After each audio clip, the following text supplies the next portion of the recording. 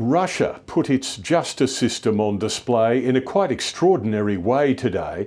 The four accused of that terrible shooting at a suburban Russian concert hall on Friday night have appeared in court. No ordinary court appearance. They'd clearly been bashed and beaten before they made the court appearance, and that was obvious from seeing the pictures of them, which Russian authorities have encouraged. They brought the media uh, to see the appearances occur. 137 now confirmed to have died in the Friday night attack on the concert hall. That number expected to rise. Full details tonight on 7 News at 6.